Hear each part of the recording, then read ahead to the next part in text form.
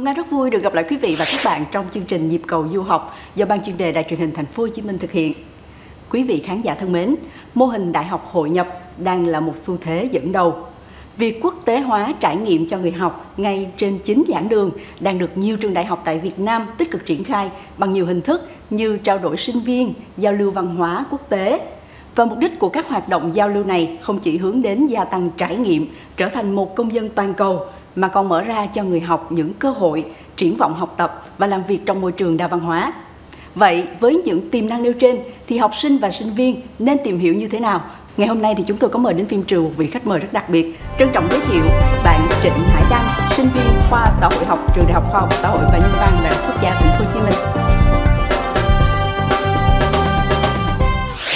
chào quý vị. À, hôm nay thì em rất là vui khi mà được uh, góp mặt ở đây để có thể uh, chia sẻ một số câu chuyện nhỏ của bản thân uh, trong cái quá trình hội nhập giao lưu quốc tế. Giao lưu, kết bạn, khám phá những nền văn hóa mới mẻ trên thế giới và chuẩn bị hành trang để trở thành công dân toàn cầu là nguyện vọng hết sức chính đáng của các bạn sinh viên hiện nay. Mô hình đại học hội nhập triển khai bởi Đại học Khoa học Xã hội và Nhân văn, Đại học Quốc gia Thành phố Hồ Chí Minh với cộng hưởng từ nhiều đối tác trên thế giới chính là điểm hẹn cho những trải nghiệm đa văn hóa đầu tiên của sinh viên Việt Nam trên con đường hội nhập. 4 năm ờ, đại học vừa qua thì mình cũng đã có tham gia một số các hoạt động mà chủ yếu nhất là ở khu vực Đông Nam Á này. Ví dụ như là hoạt động trao đổi sinh viên học kỳ hè với lại trường Đại học Công nghệ Ninh danh và Đại học Hoàng gia Thái Lan, tàu thanh Đông Nam Á. Và còn đây nhất thì mình cũng đã có tham dự cái ờ, lễ hội thanh niên ASEAN Nhật Bản. Thật ra thì ờ, Nhi biết tới Trung Quốc tới từ năm nhất đại học cơ, nhưng mà vì tự ti á, cho nên tới năm ba thì Nhi mới bắt đầu từ khoa nè, từ trường nè à, và trong nước trước ví dụ như là những chương trình à, tình nguyện sinh viên và câu lạc bộ giao lưu quốc tế của trường. Mỗi chương trình nó sẽ có những cái đặc tính khác nhau và mỗi thứ thì sẽ gọi là góp cho mình những cái những cái kinh nghiệm những cái trải nghiệm riêng biệt. Sẽ cho mình rất là nhiều những kỹ năng ví dụ như là làm việc nhóm nè rồi à, sử dụng ngoại ngữ nè à, phản biện nè và mình hiểu thêm về những cái cách làm việc với những người mà đến từ những cái vùng miền rất là khác mình. Những cái um, bài giảng những cái um, sự giảng dạy của thầy cô trên lớp. Đa dạng hóa cái phạm vi kiến thức của mình. Thay đổi to lớn nhất trong mình là sự tự tin. Cho mình có khả năng gọi là định hình bản sắc dân tộc Việt Nam mình một cách uh, mạnh mẽ hơn. Cũng là một cơ hội tốt để cho sinh viên hai nước hiểu nhau hơn thắt chặt mối quan hệ giữa hai nước. Củng cố nên cái nền tảng gọi là tư tưởng về lý luận cũng như là thực tiễn văn hóa cũng như là chính trị của nước nhà. Với những bạn mà đi giao lưu quốc tế về, mình nghĩ các bạn sẽ có rất là nhiều cơ hội trong việc phát triển nghề nghiệp ở những môi trường đa văn hóa như vậy. Và phần lớn sẽ là những bạn mà có cùng định hướng hoặc là cùng cái kế hoạch gọi là phát triển bản thân. Giúp mình có được những cái um, mối quan hệ mới với những cái bạn bè quốc tế. Trong bất kỳ một cái môi trường nghề nghiệp mà chuyên nghiệp nào đó các bạn cũng có thể vận dụng được những cái kỹ năng và cái lợi thế về ngôn ngữ của mình. Mình sẽ gọi nó là cái sự an toàn cho cái việc trải nghiệm. Cơ hội giao lưu quốc tế nó sẽ là những cái cơ hội du học thử ngắn hạn. Thời gian nó sẽ rơi vào khoảng tầm 2 tuần một tháng hoặc là khoảng 2 tháng thì nó cũng sẽ là đủ để cho mình có được những cái nhìn thực tế nhất về cái đời sống và về cái văn hóa xã hội của một quốc gia đó. Và đặc biệt là có cái cơ hội được uh, nhận học bổng toàn phần từ bên đó. Mình sẽ không có phải quá là lo về vấn đề chi phí. Đó là một cái đánh đổi khá là tốt đối với tụi mình và và một cái cơ hội mà tụi mình nên nắm bắt khi còn là sinh viên. Hiện nay các chương trình giao lưu quốc tế cũng hướng tới nội dung thúc đẩy thanh niên đề xuất các giải pháp sáng kiến trước những vấn đề nóng hổi toàn cầu. Có thể kể đến như sáng kiến thủ lĩnh Đông Nam Á, Campuchia Foundation Leadership Enrichment and Regional Networking. Trong bối cảnh xu hướng công dân toàn cầu, nhiều bạn trẻ tích cực săn đón các hoạt động giao lưu quốc tế, tính cạnh tranh về các đầu vào của chương trình này ngày càng cao, đòi hỏi người tham gia không chỉ sở hữu độ khủng trong lý lịch học thuật mà còn phải có bề dày những trải nghiệm xã hội, kỹ năng thực tế.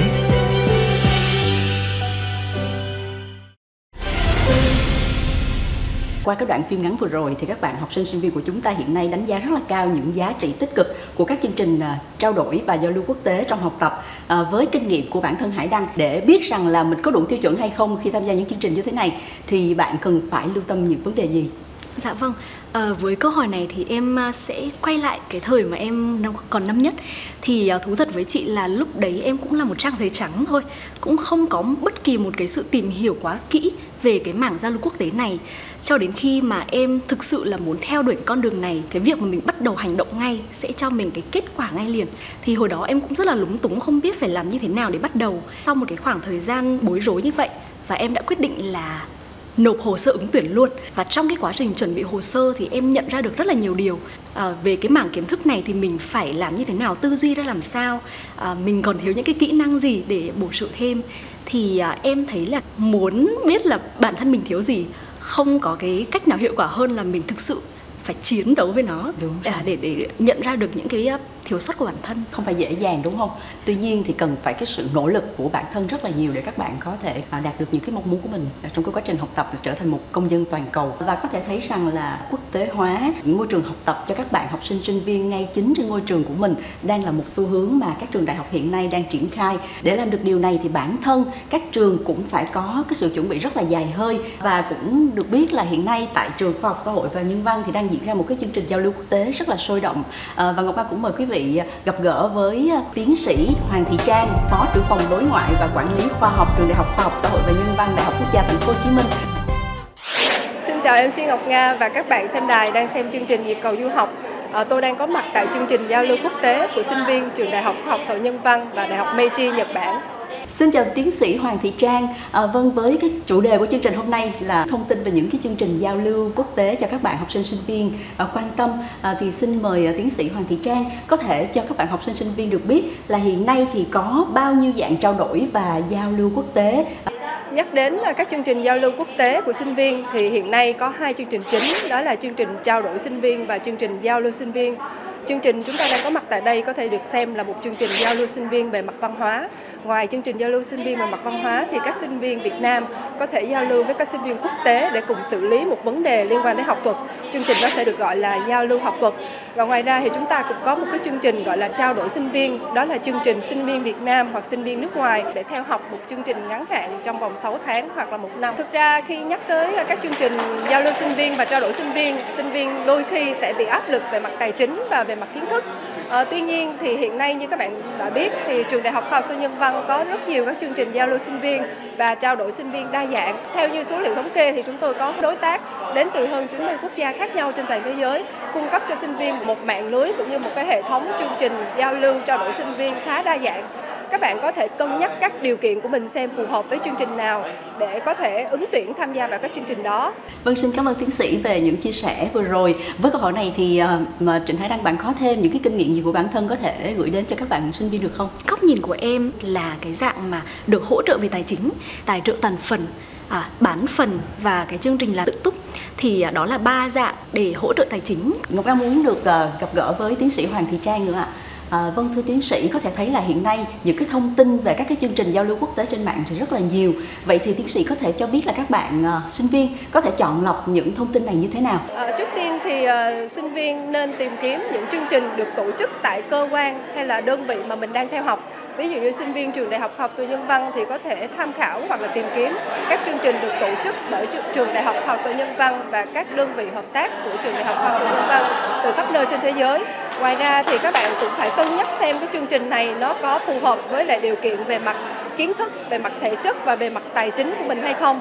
tiếp theo nữa các bạn cũng phải cân nhắc xem là cái chương trình đó được thể hiện bằng ngôn ngữ nào. Nếu chương trình được thể hiện bằng tiếng Anh hoặc các ngôn ngữ khác thì các bạn có phải cân nhắc xem là cái khả năng ngoại ngữ của mình có đáp ứng để tham gia chương trình hay không. Vâng xin cảm ơn tiến sĩ Hoàng Thị Trang về những chia sẻ vừa rồi rất là hữu ích dành cho các bạn học sinh sinh viên và sẽ làm cho các bạn cảm thấy rất là yên tâm ở những môi trường đại học ở thành phố Hồ Chí Minh như đại học và khoa học xã hội nhân văn. Trịnh Hải Đăng bạn có thêm những cái kinh nghiệm gì của bản thân có thể gửi đến cho các bạn sinh viên được không? Các bạn có thể tìm kiếm các thông tin là các trang mạng xã hội của các bạn trên thế giới các bạn sáng lập ra để mà tổng hợp ra những cái chương trình chính thống. Ví dụ như là ở Việt Nam mình thì sẽ có là Scholarships for Vietnamese Students. Ở trên thế giới thì sẽ có Opportunity Corners Scholarships 365 Và nhiệm vụ của mình thì sẽ phải chủ động đi tìm những cái nguồn đấy. À, Có một thực trạng như thế này rất là nhiều các bạn à, học sinh sinh viên ngại đi tìm kiếm thông tin. Tức là các bạn bị thụ động trong cái vòng network của các bạn hiện tại mà không chủ động đi tìm kiếm những cái trang bên ngoài. Nhưng mà khi mà mình quyết tâm, mình bỏ cái sự ngại ngùng, sợ sệt của mình ra, thì kết quả nhận lại sẽ vô cùng xứng đáng. Một trong những bệ phóng giúp các bạn sinh viên chủ động và bản lĩnh hơn trên chặng đường giao lưu quốc tế chính là các câu lạc bộ sinh viên. Đây là buổi giao lưu với sinh viên trường đại học Meiji, Nhật Bản do câu lạc bộ International Exchange chuyên về giao lưu quốc tế của trường đại học khoa học xã hội và nhân văn Đại học Quốc gia Thành phố Hồ Chí Minh tổ chức. Tuy diễn ra đều đặn, nhưng các chủ đề trao đổi, các hình thức tổ chức mới luôn được cập nhật thay đổi liên tục để đem lại nhiều bất ngờ, tạo thành sân chơi bổ ích giúp các bạn sinh viên cùng nhau tập lớn mỗi ngày. 2012, câu lạc bộ giao lưu quốc tế IEC được thành lập với ờ, cái mong muốn là tạo cái cầu nối cho các bạn sinh viên trường Đại học Khoa học Xã hội và Nhân văn có thể giao lưu và kết nối với bạn bè quốc tế. Có hoạt động theo ba ban, đó là ban uh, truyền thông, ban sự kiện và ban nhân sự. Đến thời điểm hiện tại, câu lạc bộ giao lưu quốc tế đã tổ chức cũng rất là nhiều. Uh, các hoạt động giao lưu quốc tế điển hình đến từ các trường đại học chẳng hạn như là đại học Meiji của Nhật hoặc là các bạn đến từ đại học Monash của Úc. Bên cạnh đó, IEC còn đồng thời tổ chức những cái ờ, chương trình giao lưu văn hóa mà có yếu tố nước ngoài, tập huấn kỹ năng, tổ chức những cái buổi nói chuyện chuyên đề hoặc là những cái buổi workshop với sự tham gia của những khách mời đặc biệt là gọi là những cái người chuyên môn ở nhiều lĩnh vực khác nhau để giúp các bạn thành viên câu lạc bộ có thể nâng cao kỹ năng và chuẩn bị tốt hơn cho cái chặng đường phát triển trong tương lai. Cho đến nay, IEC vẫn tiếp tục phát huy cái vai trò gọi là tạo ra một cái sân chơi nhưng mà lần này thì không chỉ là dành cho các bạn sinh viên trong trường mà còn là cả các bạn sinh viên ngoài trường để các bạn có thể đến giao lưu và chia sẻ về những cái nét đẹp văn hóa của đất nước và đồng thời chính các bạn cũng nhận được gọi là những cái kiến thức hữu ích và những cái chia sẻ từ bạn bè quốc tế. Đam mê của mình là được giao lưu kết nối với các bạn sinh viên đến từ nhiều, nhiều nơi trên thế giới. Thông qua câu lạc bộ thì mình lại càng giao lưu và mình biết thêm nhiều các bạn sinh viên và các cô chú có thể là đến từ nhiều đất nước khác nhau và tiếp thêm cho mình những cái năng lượng, cái sự tự tin và những cái kỹ năng mà cần thiết làm cho cái đam mê của mình nó được ừ, cháy bỏng hơn nữa. Ngay từ những năm tháng ở trường đại học, sự trải nghiệm thú vị của các bạn sinh viên khi tham gia các hoạt động hữu ích của các câu lạc bộ đã góp phần tích lũy những kinh nghiệm quý và những kỹ năng tốt cho hành trình giao lưu quốc tế. Sự thu hoạch nho nhỏ này có thể bổ trợ và giúp sinh viên có thể rút ngắn khoảng cách từ biết, hiểu đến làm việc hiệu quả sau khi tốt nghiệp như một bước đệm hỗ trợ trên con đường vươn ra biển lớn, hướng tới trở thành những công dân toàn cầu. Ờ, có hai cái tiêu chuẩn mà thường các bạn thấy là một là chúng ta cần phải có năng lực vượt trội à, bên cạnh đó thì chúng ta phải có khả năng tài chính à, đôi khi nếu như không đạt được những cái tiêu chuẩn như vậy thì các bạn thường là hơi nhát tay khi mà gửi hồ sơ ứng tuyển à. em có thể cho những bạn khác những cái um, sự tự tin hơn nếu như bạn không có đủ hai cái tiêu chuẩn chương trình sẽ không tìm kiếm tất cả những người giỏi trên thế giới vào mà phải tìm kiếm những người hài hòa với nhau những cái người mà phù hợp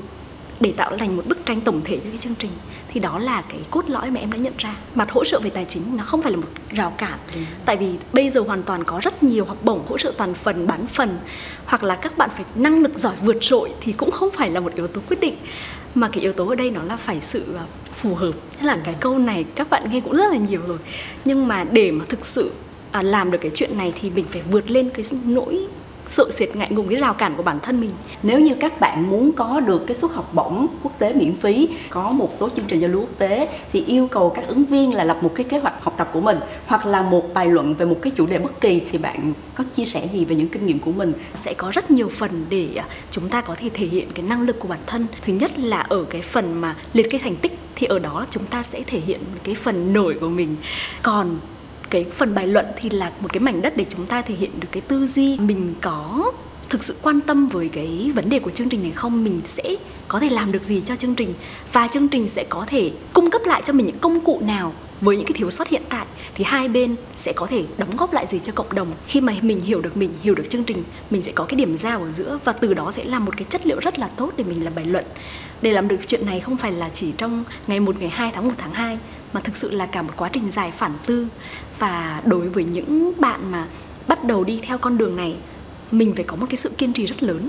cho nên là đừng vội nản à, chúng ta hãy thực sự tin vào bản thân mình và kết quả nó sẽ đến khi mà mình thể hiện đúng cái sự chân thành con người thật của mình ở đấy có thể nói là những chia sẻ từ đáy lòng của một người đã chinh chiến rất là nhiều qua một cái chặng đường từ thời sinh viên đúng không yeah. Dạ. và chắc chắn là cũng sẽ khiến cho các bạn cảm thấy là cái nỗi sợ hãi nó không có to tát gì hết quan trọng là chúng ta có được những cái nỗ lực và chúng ta thực sự tâm huyết với nỗ lực đó. Vâng đến đây chương trình Nhịp cầu du học xin được khép lại ở đây. Mời quý vị và các bạn tiếp tục theo dõi chương trình vào lúc 7 giờ 40 sáng chủ nhật hàng tuần trên kênh HTV9 với rất nhiều những kinh nghiệm, những bí quyết du học bổ ích đang chờ được lật mở. Thân ái chào tạm biệt quý vị và hẹn gặp lại trong những chương trình lần sau.